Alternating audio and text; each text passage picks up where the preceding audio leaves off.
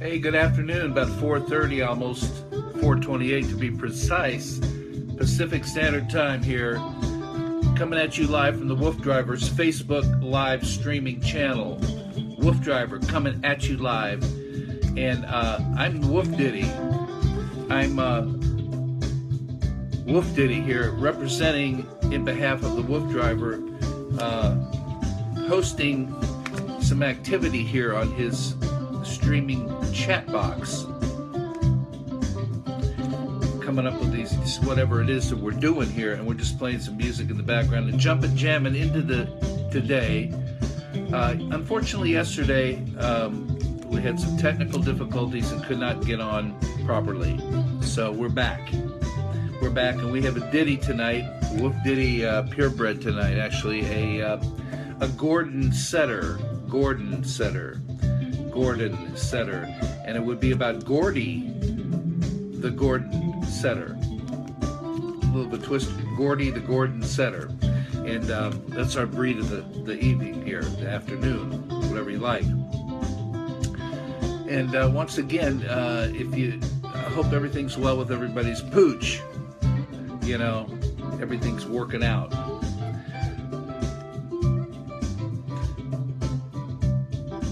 Waiting to gather the, uh, it's building an audience.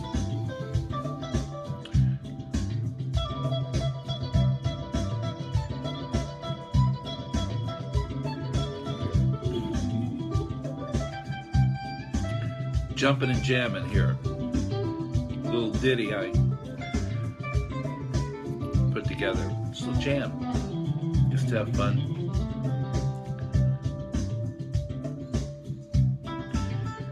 Well, thank you, Adiam. I haven't seen you back here before. I'm good.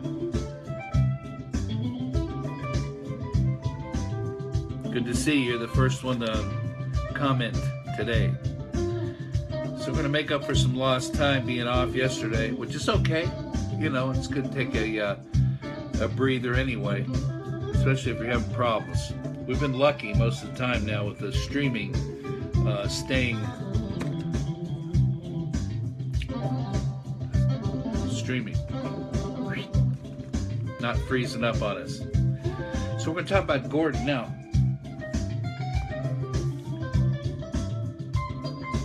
That's fading out here. And as it does, I'm going to go ahead and fade in some a little background meditation stuff with the guitar.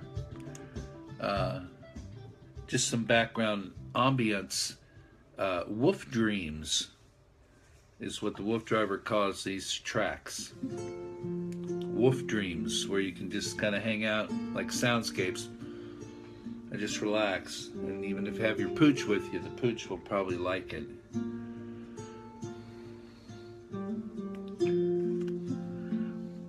Something like that. Hello from Kosovo. Really, Lindy. Wow, that's that's a. I don't speak German. Thank. I'm sorry. Uh, my stepmom does. I'm in California. She's in, in Alabama, and she's not on the show. I don't think uh, I'd have to teach her how to do it. She's up there, uh, 90, 90 years old now,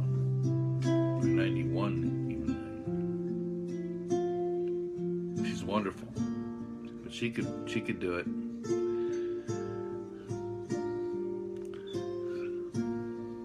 Julie, hello. Good to see you. We're just relaxing into the groove here this evening with uh, WooF Driver Live here. A uh, little uh, hosting here by WooF Ditty. Uh, just a silly little nickname.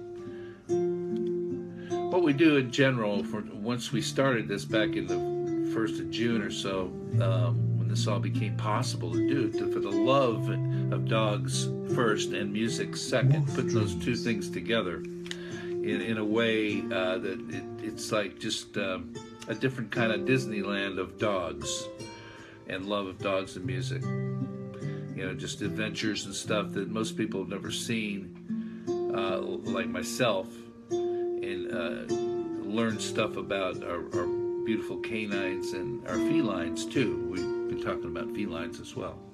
So we're just having fun with that, you know, trying to have fun with that, and uh, looking at uh, one of the wolf pack here because the woof driver has four huskies, and most of you are privy to what this is about. If you're not, this if you're new to what this crazy person here looking at you with this wolf, wolf husky shirt called the WooF Driver. Hi from Texas, D-Light. Yeah, that's a rehab. Good to see these people back. You know, not every day. You don't have to come every day. We try to do this every day, a little while, at least different times, late afternoon or into the evening. Depends on what's going on, how it feels. You know, where everybody might be, what they might be doing, to see if they want to hang out live with us. Because if you're not, you can always come back and watch it on alldognetwork.com. Um, and I usually, just because, for argument's sake, um, get on here so that you can uh, see where where I say All Dog Network. You can I'm gonna go on the show my on the place where we are right now live and be able to comment as you would. And uh, there we go. And remind if uh, our watchers, our, company here, wants to check out all the stuff we've done, and there it is, posted.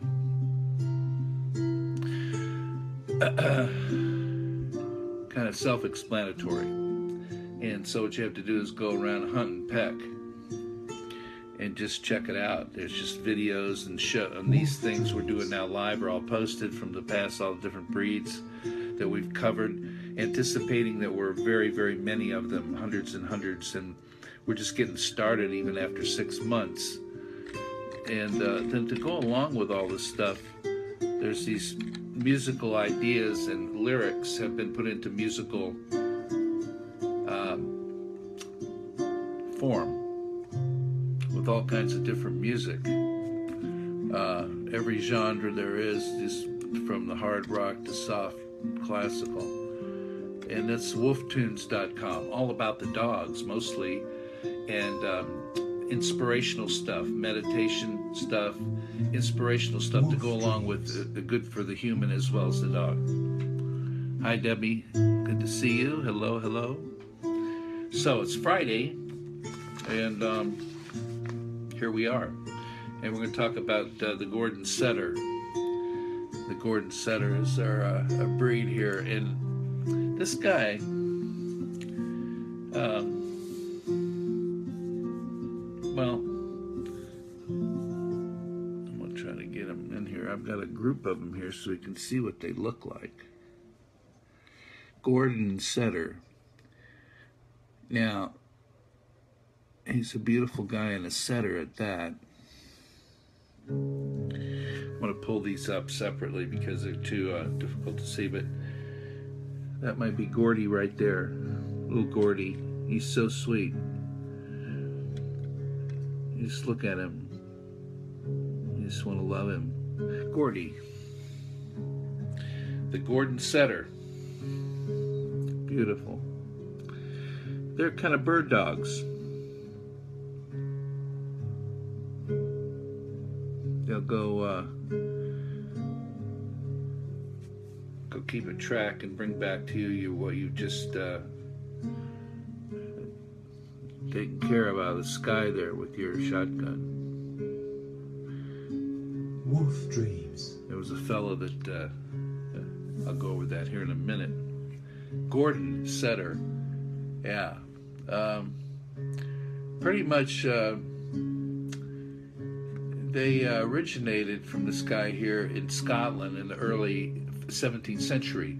Black and tan setter became popular by Duke Alexander IV of Gordon.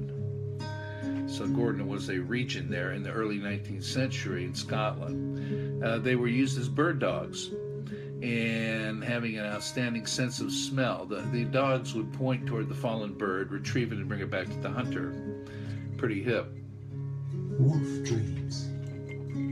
The Gordon had great stamina and could hunt in bad weather and both land and water. But was not as fast in comparison to the pointers, and as a result started to lose popularity as hunters chose other breeds that were faster. Poor Gordon Setter. The Gordon Setter was one of the breeds that were used in the development of the Irish Setter. Um, the Gordon makes a good one man shooting dog, one man shooting dog. Gordon Setter is recognized the AKC in 1884, and some of their uh, talents include guarding, watchdog, hunting, tracking, pointing, and retrieving. Quite a collection of talent there. Just about everything you need for that kind of situation when you want to go get some and know where it is. Yeah. They do need the brisk walk, exercise, or they'll become uh, restless and difficult to manage. Uh, they're recommended, not recommended for a small apartment, you know, kind of deal. Relatively inactive indoors, so need to get outside with activity in a fenced yard, safety if they're leash free to run, or you know, a place where they're they've got those dog runs at the parks and stuff in certain places where they're chain linked around where you can go in there and play frisbee, whatever the case. Let them sprint and stuff.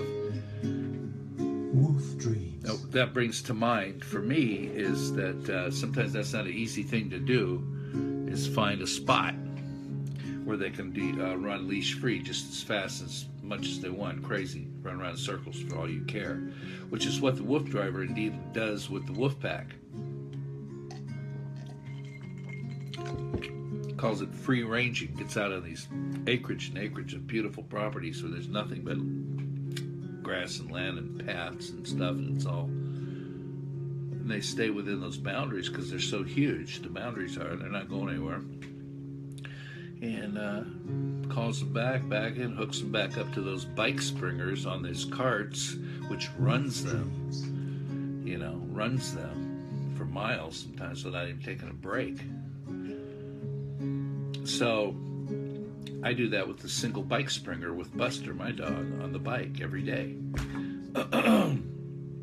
which keeps him exercised as much as he needs to be exercised, as much as you want to do, you know.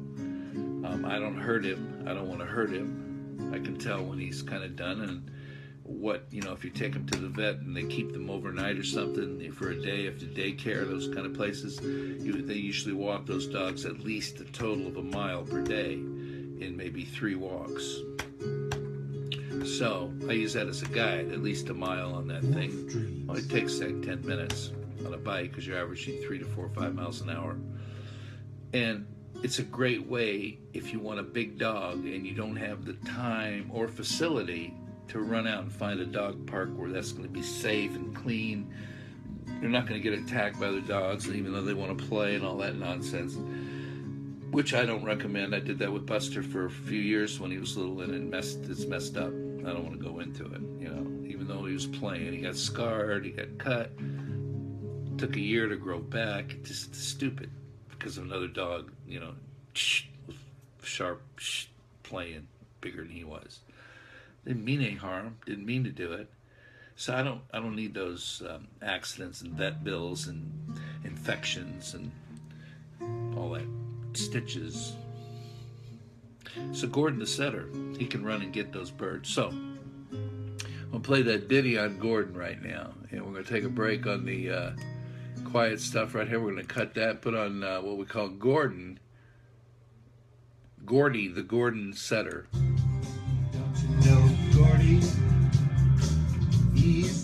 Gordon setter. That's Gordy, the Gordon setter. You know he's distinguished both for his loyalty and obedience as Gordon, the Gordon setter. He's so polite, well, he's sweet tempered, a devoted dog. That's Gordy, the Gordon setter. Olivia, hi, Atlanta.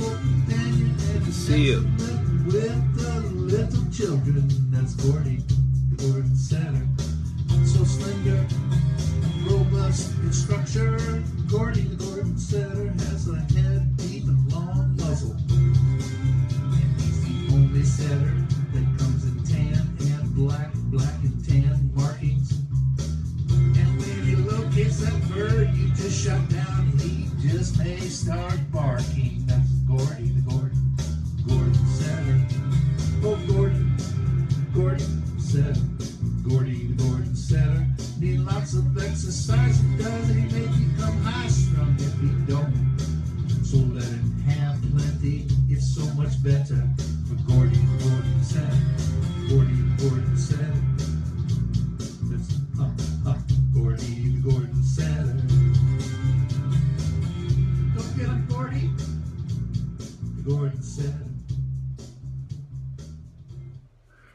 Gordy, the Gordon Setter. There you have Gordy, the Gordon Setter. Little ditty about him.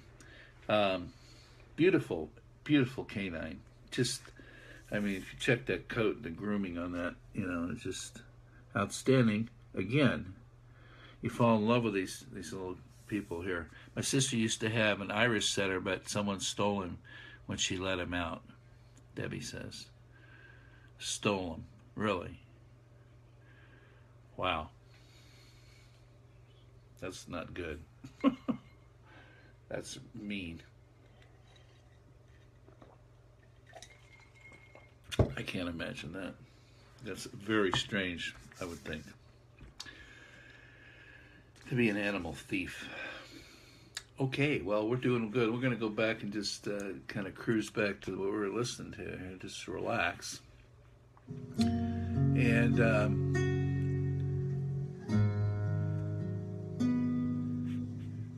checking the All Dog Network right now. If I look at it and I look under um, uh, Adventures, if I go to the very top of that page, and it says uh, across the top, and when you run your mouse on it, it turns green from black. Exclusive Adventures, Animal Insights. Uh, if, if any of you are not there, I have it open to me as a host. What all these shows are right here. If you see up here, you see exclusive adventures, animal insights, wolf tunes, live, just for fun hosts. And you click on hosts and you come over here and you have, there's me, but I mean, if I just click on host, there's a, there's all the hosts. Or there were. Right there. You can click on each of those and see different kinds of um, uh, shows and chats with different kinds of people with doing different things from the dog yoga to the dog uh, training to the wolf news hilarious stuff from Brit. This is all uh, posted. Just fun stuff to watch. It's almost like, you know, there's a bunch of mine. There's a yoga one right there with Kimberly and Mookie. And just to watch one of these, it tells you, you know, Doga. There's me again back on October 31st and so forth. Every day we read the next day, most of these are posted within the next day. Wolf dreams. You can just scroll down, you see, to all my stuff. We did all the music nights when we just got crazy and tried to sing songs, even though we can't sing very well. We don't care. You know what I mean? We're not concerned about, you know, perfection or what level of talent is involved with this activity with the dogs and music. We just, all we do is the best we can do with what we've got. Uh, understanding uh, what we're, we're doing this for. And if it's about the dogs and music, it's, it's kind of uh, just a fun thing to do, you know? It's just an original creative vibe musically as well. All this stuff is original, and the parodies that we've done on on uh, dog uh, lyrics from the WooF Driver, with ACDC album and a Fleetwood Mac parody deal, and all the individual artists, R&B and rock and roll, what have you. It's all up there on Wolf Tunes. Um, it's just um, fun. It's crazy stuff to listen to you know you may not like all of it or any of it for that matter but what you may like some of it and you go wow that i like that I, you know you wouldn't, you're not going to expect what you hear most of the time on the way these were done and what he's talking about with the dogs. Of all dogs, love all dogs. Just it's crazy. It just gets me uh, more, you know, uh, focused in on the the real connection that you have with your dog. That's beyond, you know. I mean, most of us have it. Maybe this is new for me. This the level of, uh, you know, um, intimacy about the vibe and the mental, how you treat your dog, you know, and, and canines and kittens, you know, how, how, the connection to make it totally as right as you can make it as far as your relationship being right, Wolf healthy and fun and right and loving. And so that you strive for that. I mean, I keep striving for that. Um,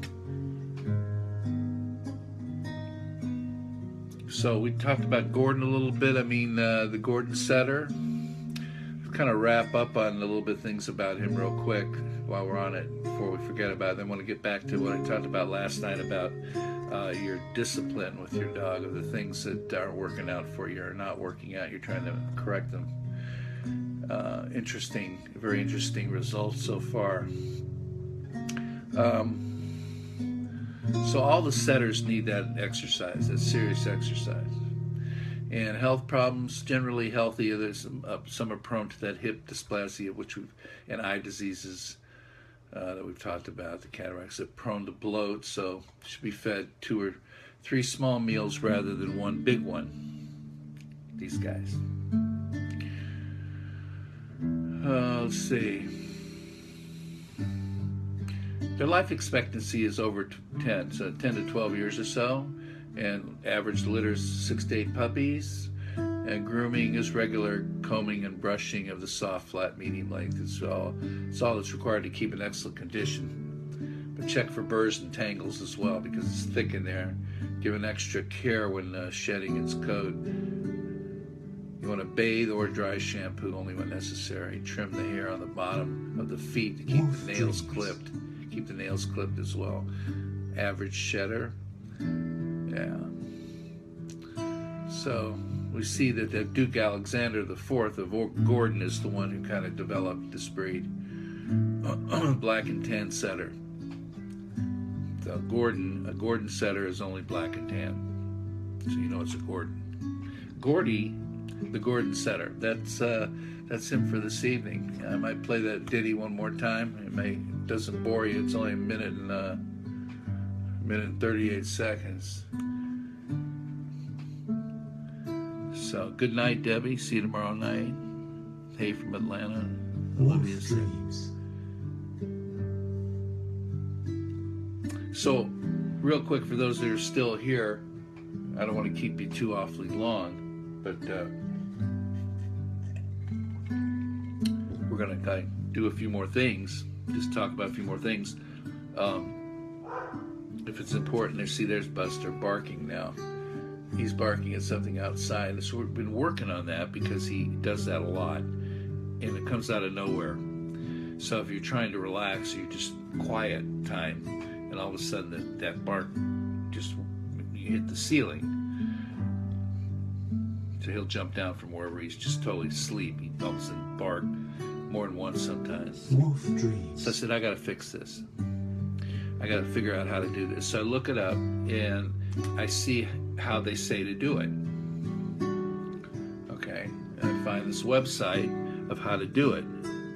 So I started doing it yesterday. After I right after I looked it up, the next time he barked in the house, most of the time he wants to go out and me run and open the door, and he runs out there and he runs on the side, looks over the fence, barking at whoever it is. Um, so I figured, well, the thing is to not to let him out. Number one, and get him to quit barking in the house. To get out, or to bark at whatever more than uh, it says like two or three barks. Then they need to be quiet. Wolf dreams. So he doesn't like it because he knows what it means now. I mean, he, I've been saying it for a long time, but now it's just you say the same thing over and over. Many barks he goes, "No, quiet." From a distance, stand over him whatever. So I started yesterday, like they say, hold their muzzle. Well, he'll let me hold his muzzle if I get a hold of it. He's not going to do anything weird. And gently keep it not hard. And just say, quiet. I don't say no barking. I go, quiet and hold it. He starts to growl or bark or do his little whimper thing like he's going to bark. You know how they do? I hold it. I say, quiet. I remove my hand and I say, quiet. Now, you're supposed to give them a treat if they stay there and they're quiet. I'm not going to do that unless I have to. So, so far, he's lessened it. If he barks like right now, and if I yell and they're quiet, most likely he will not bark again. Maybe once, and I'll say it again. It's starting to work.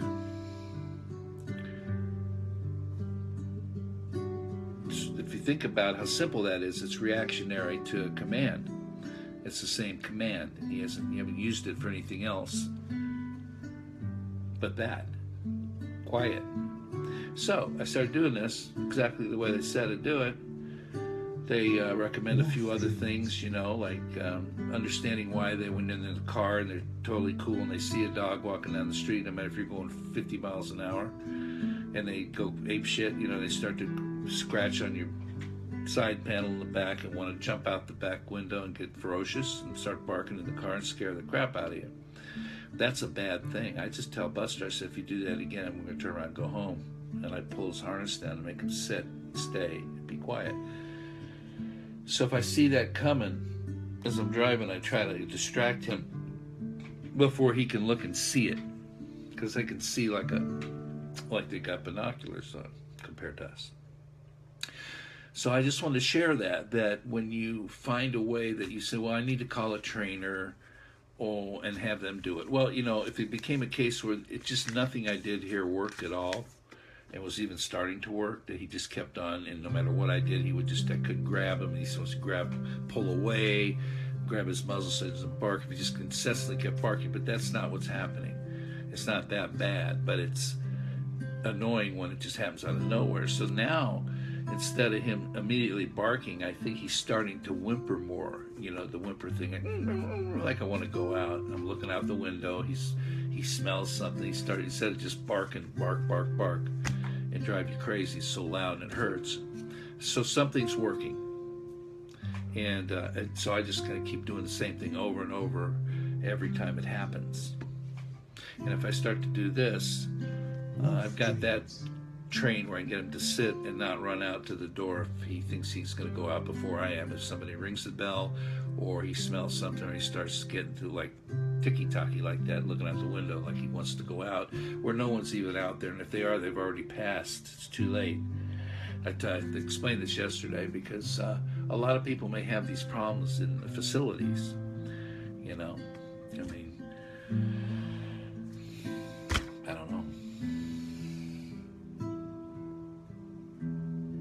So I just try to share that stuff because it's part of the, the things that are always a challenge when you love a dog, love your dog, and you have certain, certain things they do that are wonderful as far as being very guarding and protective. I wouldn't have it any other way. But then in the middle of all that, there's a way to correct the things that are unnecessary, which is what he does because he's got this sniffer and vibe thing or if the, anything's around, I don't. It's not that it's harmful. He's gonna, you know, these ladies with their baby buggies, little babies, no dogs with them. Same thing. So I'm working on that training to share that. It's all doable if you keep doing it and you don't yell at them. Use the commands and you show them by like what you do. If it got really severe, they say you can use a scarf kind of a muzzle. So just a soft scarf you tie it around so it keeps their muzzle covered. And just uh, yeah, make them wear that for a while. But there's all kinds of things. So uh, this is one of them that I found that uh, just doing the command thing and standing over them and getting their attention like you normally give any other command that they already know because they're trained somewhat, you know, sit, come, stay, whatever the case, lay down. It's all good. So the Gordon setter. Now, Wolf Dreams. Gordon Setter.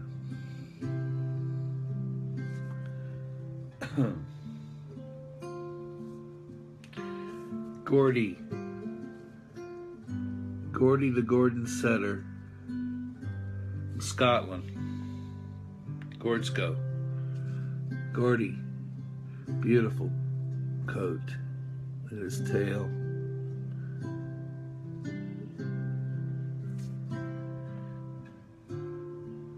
Little Scottish guitar there. For Gordy, the Gordon Setter.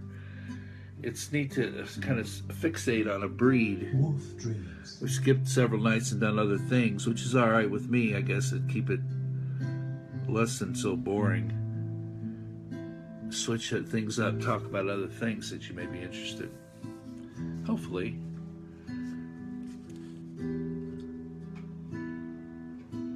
Gordon Setter, Gordy. I'll play that uh, that ditty one more time uh, if you'd like to just check out about Gordon, the Gordy, the Gordon Setter. Don't you know Gordy? He's the Gordon Setter. That's Gordy, the Gordon Setter. You know he's distinguished both for his loyalty and obedience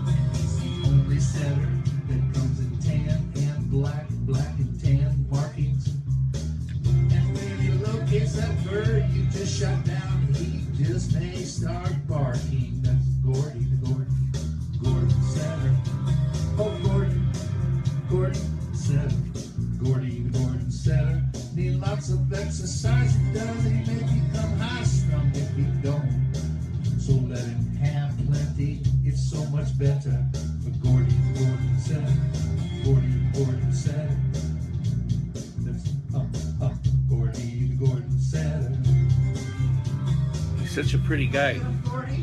Gordy, the Gordon Setter. Yes, sir. That's what he is. So our little breed tonight, Gordon Setter. Gordy the Gordon Setter is what his name was. A little fictitious ditty about a real purebred canine, the Gordon Setter. Uh, it's WooF Ditty here, coming to you live at the coming at you live via the WooF Driver Network Facebook, and um, we're gonna meditate out of here. We're gonna jump and jam out of here. Actually, is what we're gonna do. Uh, hope you all are well. Keep it going. Let's share. Get more people coming to see us, and uh, we're gonna keep the breeds moving and the hybrids and you know all the information that we can share uh, for those um, dog lovers and music lovers.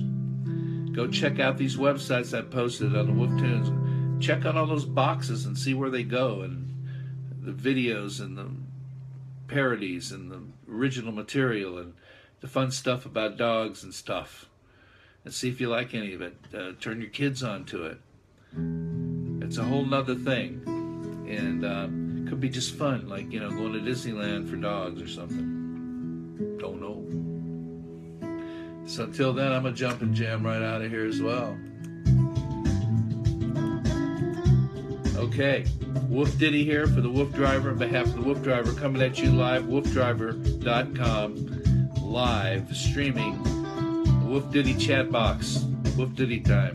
And uh, we'll be back tomorrow on uh, Saturday, probably, I have to see what time, early, earlier than later, I hope. Makes it easier on the evening on everybody. Y'all take care. Good to see ya.